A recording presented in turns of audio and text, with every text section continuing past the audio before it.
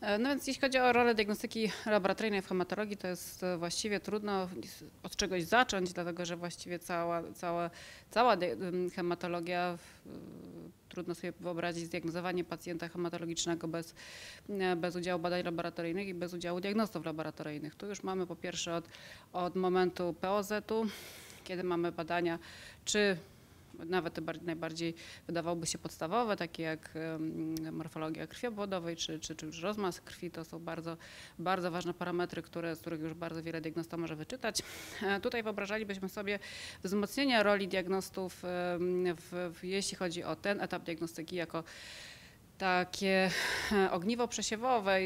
pokazujące też właśnie jako, jako ta kadra wysokospecjalistyczna, która doskonale sprawiłaby się w roli pomocy lekarza i współpracy z lekarzem POZ-u w kontekście ewentualnej we- weryfikacji, czy ten pacjent, co, co, co, jakie badania, jakiego rodzaju badania dorobić, czy powinien być ta diagnostyka poszerzona, czy też, czy też być może ten pacjent jest niepotrzebnie, że tak powiem, być, być może niepotrzebnie kierowany w, to, w tą stronę, więc tutaj na pewno e, diagnosta, zwłaszcza diagnosta specjalista mógłby w tej, na tym etapie y, y, kontraktowania badań, właściwie badań pozotowych mógłby, e,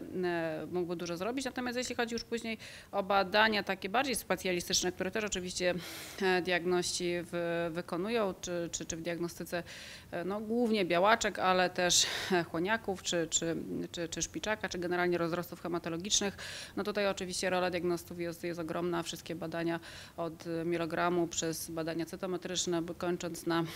na badaniach cytogenetycznych czy molekularnych. No tu oczywiście cała ta diagnostyka jest prowadzona przez diagnostów, tu już y, w głównej mierze diagnostów specjalistów, czy to specjalistów z hematologii, czy genetyki. No i tutaj to, co byśmy z kolei e, wyobrażali sobie wzmocnienie naszej roli jako, e, jako mm, tego, tego bardzo ważnego ogniwa w diagnostyce hematologicznej, to na pewno chcielibyśmy em, dobrze, dobrze byłoby w, po, wdrożyć pewne rozwiązania mm, finansowe, to znaczy od, od, odrębne kontraktowanie tych badań e, z, z, z płatnikiem, e, też wskazanie wymogów kadrowych i wy, wymogów ym,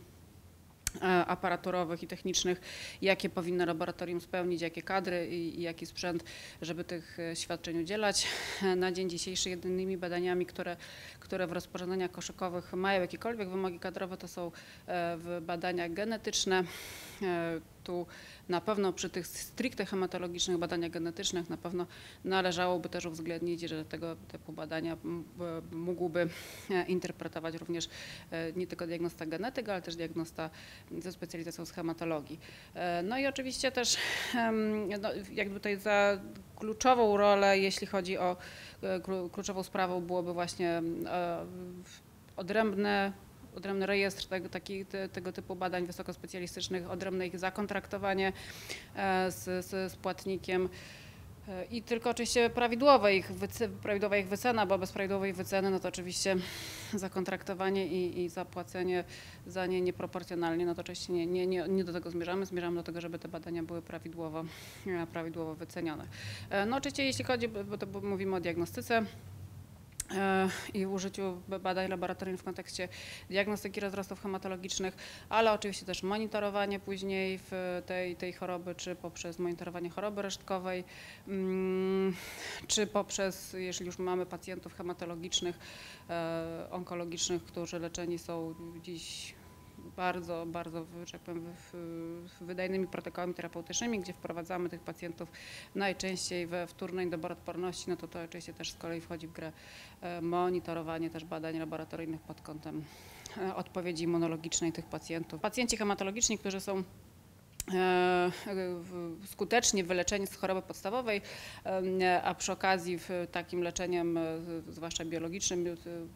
celowanym, w różne, często w, w, przy hematologii w różne punkty e, uchwytu związane z, z, z dojrzewaniem limfocita B, wprowadzani są